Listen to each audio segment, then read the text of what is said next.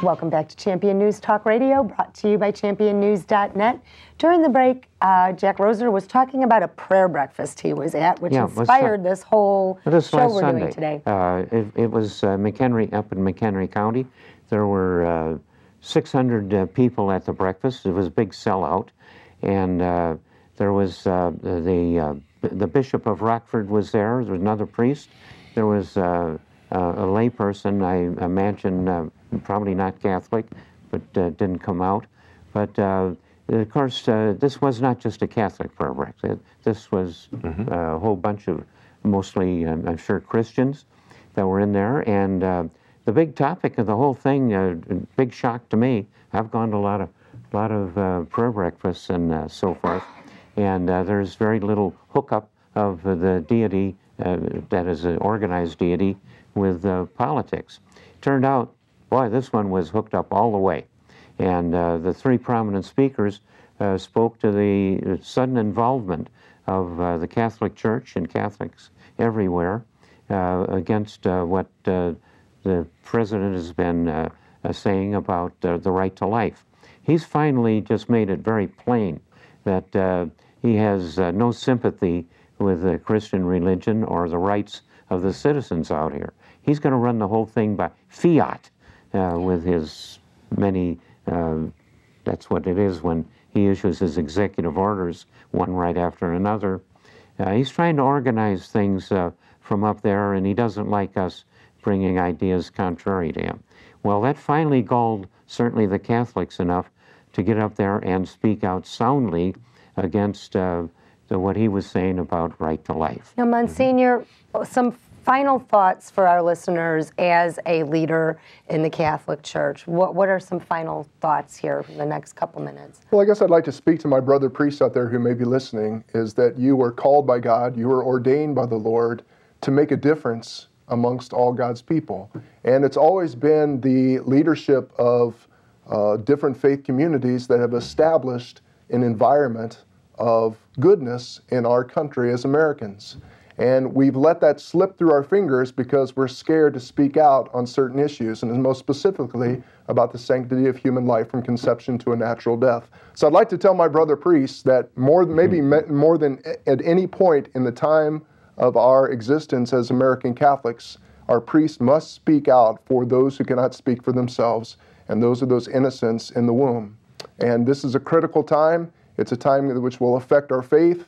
Our, our religious institutions could be shut down if, we- if we don't uh, speak up and if we don't get people energized to make the right decision, which is to vote Barack Obama out of office. Uh, That goes John, also uh, for the local thing because uh, uh, the Democrats have organized Chicago for eons with big help from the Catholic Church, particularly. I'm a Catholic, I was born in Chicago, and I know whereof I speak. Not too long ago, I was at a fair, it wasn't, uh, it was political, and uh, the Cardinals spoke friendly about, uh, and I think Cardinal George is a great guy. This isn't personal.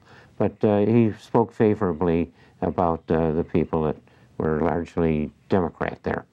And uh, I think uh, all of a sudden, uh, uh, the Catholic Church is no longer tied in Chicago to the Republican, to uh, the Democrat Party. Democrat, We hope not. yeah. Now, John, as a as an evangelical, non-denominational pastor, Mm-hmm. what what do you have to say to your fellow you fellow know, pastors? to the and- believer, Catholic or Protestant, to the people of the book, there is no separation between the sacred and the secular. You bring everything, you view everything through the eyes of God and through what he, His will is. And so, when it comes to this election or any election, uh, whether you go into the voting booth or whether you're going door to door or knocking on doors, making phone calls, um, the the important thing is not my will, but Thy will be done with with, with, with every situation. Now. 34 some years ago, this past Tuesday, Pope John Paul II was elected. Now, that's not a man who retreated from uh, from public statements. Uh, with along with Margaret Thatcher and Ronald Reagan, they virtually brought down the Iron Curtain. But 67 years ago, this past Friday, uh, a group of evangelical uh, preachers like me signed the Stuttgart Declaration of Guilt. And what it said was, we should have done more. when the Nazis were rising up, we should have done more. I don't ever want to have to sign a document that, that is a declaration of my guilt. I know beforehand, and to my fellow pastors, I'd say, I much, I'd much, uh, I'd much rather them consider the Manhattan Declaration, which brings together Jews, Catholics, and Christians, uh, evangelical Christians, and ends with this. We will fully and ungrudgingly render to Caesar what is Caesar's, but under no circumstances will we render to Caesar what is God's. Oh boy, that's powerful. Now, what about pastors that just they know the truth, but they say they can't do this. They can't be talking political issues from the pulpit. They'll lose their They're 501c3 status. Yeah. Craven if they do that. Wha- wha- eh, Scripture speaks to those men as hirelings, not as true mm. shepherds, and it's a strong indictment of them in Ezekiel 33 and 34. We're called to man the wall, and we're called to protect the flock. They can do this in, this, in the freeness of this land, and it's free speech to say that. But you're entirely right. Uh, they've deserted principle. Michael? Well, I've you know I've been bold to tell pastors if you don't stand up, you're going to end up having be forced to marry Adam and Steve. Not But here's the thing: Obama said a couple years ago, "We are not a Christian nation." I speak to all my brothers and sisters out there. 2012. Let's prove him wrong in this upcoming election.